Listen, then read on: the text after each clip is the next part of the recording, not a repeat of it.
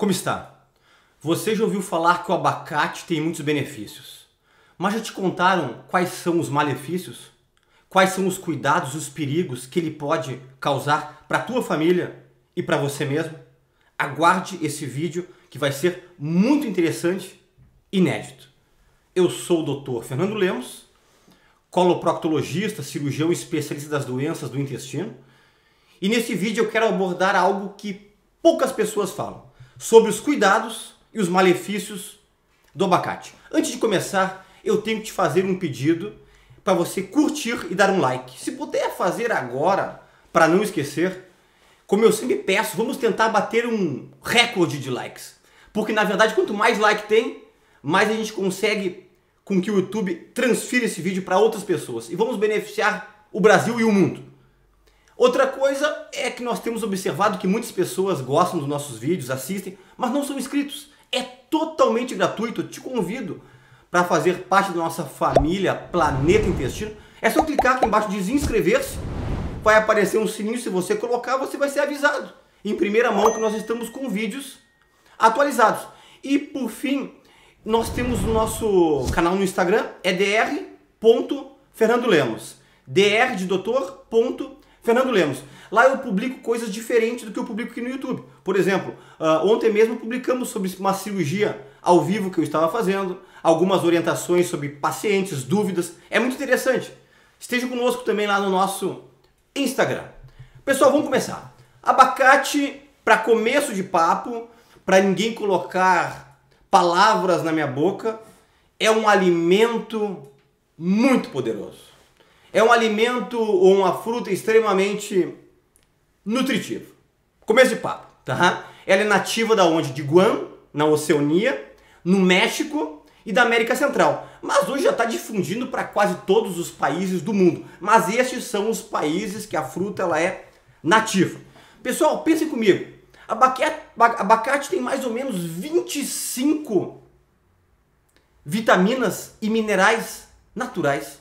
Você tem noção que poucas frutas ou alimentos têm isso agregados tudo junto? Abacate é rico em fibra. Abacate é rico em proteínas. Abacate tem muitos fitomedicamentos que têm benefícios em muitas partes do nosso corpo.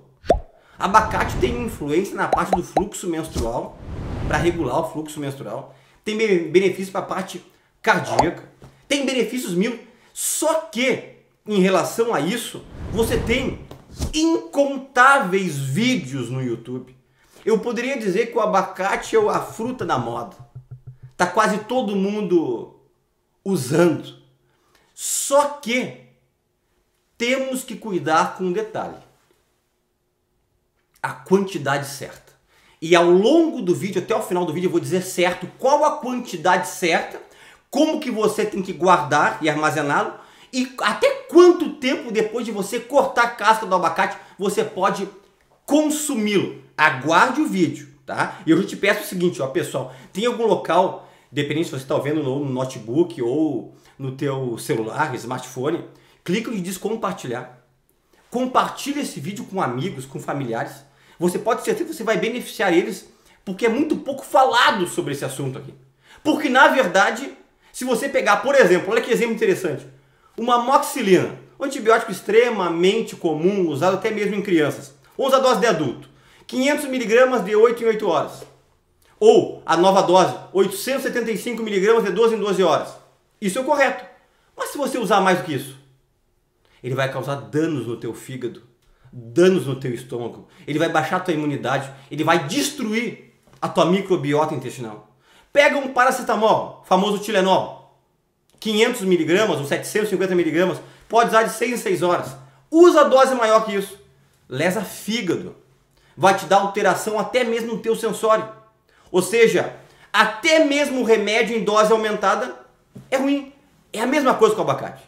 As pessoas, porque ouviram que é benéfico, estão consumindo acima do recomendado. E eu separei apenas quatro malefícios do consumo excessivo do abacate. Mais uma vez eu digo, eu vou explicar qual a dose correta. Eu estou falando aqui do consumo excessivo. Para não saírem dizendo, olha, o doutor Fernando Lemos, lá do Planeta Intestino, está dizendo que o abacate é ruim. Não, o abacate é maravilhoso, mas na dose correta. Vamos começar? São quatro. Primeiro, abacate pode aumentar o peso. Doutor Fernando Lemos, mas eu li que o abacate ele ajuda para dietas, ele ajuda para perder peso no emagrecimento, correto? Na dose certa, porque ele causa uma saciedade e faz com que você tenha menos desejo de se alimentar.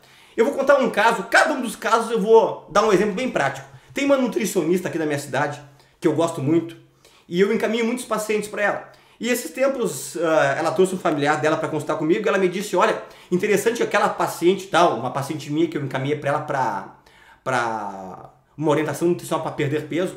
Ela começou de uma hora para outra a aumentar o peso com a minha orientação.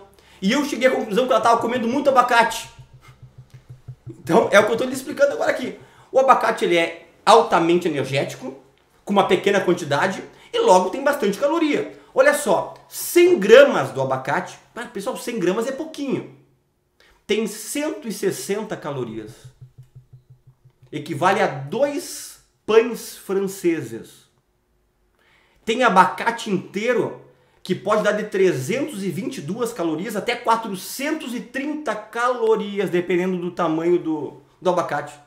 Então começa a consumir bastante quantidade de caloria. Você vai aumentar de peso. Você vai depositar gorduras nos locais, uh, nos locais que não devem. Então muito cuidado com o consumo, que você vai aumentar de peso. Você vai engordar. Então, cuidado essa moda que abacate emagrece na quantidade correta. Compartilha com amigos, com familiares essa orientação. Segundo, malefício se usar do abacate de forma excessiva. Vamos lá? Excesso de fibra. Como assim, doutor Fernando Lemos? O senhor não é coloproctologista? O senhor não orienta pessoas a consumir uh, fibras? Cons oriento até mesmo do abacate. E eu vou começar falando sobre esse assunto de uma paciente minha. Teve uma paciente minha que tinha uma constipação intestinal muito leve, tá? Porque eu já te digo para você que você que tem uma constipação intestinal grave, que passa 5, 6, 7 dias sem defecar, não adianta só você aumentar a quantidade de fibra, tem que ter uma orientação num coloproctologista e um tratamento com lubrificantes, um tratamento para modificação da tua flora intestinal, com cepas de probióticos uh, específicos para movimentar peristaltismo intestinal tá? Mas uma pessoa com uma constipação leve, eu dei umas orientações para ela, também dei uma orientação correta do uso do abacate. Só que ela gostou tanto que ela começou a comer em grande quantidade de abacate. Além do que a dose que eu vou explicar para vocês logo mais. E ela chegou comigo com dores no abdômen, estufamento, excesso de gases. Inclusive, eu não estava na cidade, ela consultou com outro médico e foi pedindo uma tomografia de abdômen, deu urgência para ela para ver se ela não estava com algum problema que tinha que operar no abdômen. Nós chamamos de abdômen agudo, porque ela estava com bastante dor. E apenas foi visto que ela estava com excesso de gases. Pessoal, olha só. Uma porção do abacate tem metade da quantidade de fibras que nós precisamos consumir por dia. Um adulto deve consumir entre 25 a 30 gramas de fibra por dia. Uma porção de abacate tem a metade dessa quantidade. Nós já consumimos fibras com outros alimentos. Imagina se você consumir abacate em grande quantidade.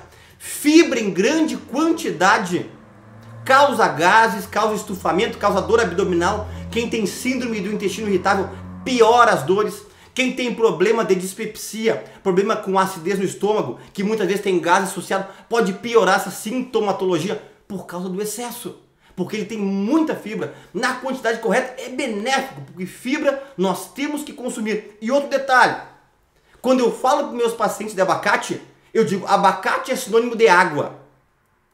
Quanto mais fibra, mais água. Se você não consome água consumindo fibra, eu digo, nem consuma fibra. Vai te causar dor abdominal, vai ficar com a barriga estufada, distendida, vai ter dores abdominais e o teu intestino vai trancar. Fibra tem que ter água. Eu defendo tanto, quem me acompanha no Planeta Intestino, os 600 a 640 ml de água de manhã em jejum, que tem mudado a vida de pessoas no mundo todo. Quem não assistiu esse vídeo, coloca água em jejum, doutor Fernando Lemos. É algo extraordinário. consuma muita água ao longo do dia, não só os 600 ml que eu digo, tem que fechar uma quantidade certa. Eu já expliquei muitas vezes, mas vou dizer novamente. Pega o teu peso e multiplica por 0.03. Peso por 0.03 vai dar a quantidade certa de litros que você tem que consumir de água por dia. Ou seja, abacate tem que consumir muita água e cuidado com o excesso de abacate. Você pode ter transtornos digestivos com gases, dores, pensando que é algum outro tipo de alimento ou algum tipo de medicamento e às vezes é o abacate. Terceira coisa, aumento de colesterol e problemas cardíacos. Ah, mas agora eu tô eu tô impressionado, chocado, doutor Fernando Lemos. Eu vou passar para tantas pessoas isso porque o senhor está falando uma coisa errada. Porque o abacate faz bem para o coração, o óleo de abacate faz bem para o coração, a gordura do abacate é boa, doutor Fernando Lemos. Como isso? Você tem razão em tudo. A imensa maioria da gordura do abacate é uma gordura monoinsaturada. É uma gordura boa, que eleva o HDL, que é o colesterol bom, que é o que protege o coração. Baixa o LDL, que é o coração ruim. Ele é rico em ômega 9, que são poucas substâncias que tem ômega 9. É protetor cardíaco. Vários estudos da American Heart Association, que é a Associação, Associação Americana de Cardiologia, indica o abacate como uma fonte protetora cardíaca. Certo. Porém, na quantidade certa. Uma porção de abacate tem 3,2 gramas de gordura saturada, gordura ruim, gordura que acaba entupindo coronária, coração, acaba dando aterosclerose, que é entupimento de artérias e vai diminuindo o fluxo, e isso aí que pode causar angina, que é dor no peito e até mesmo um infarto. Ou seja, se você consumir grande quantidade de abacate, você vai consumir mais quantidade dessa gordura saturada que não é boa.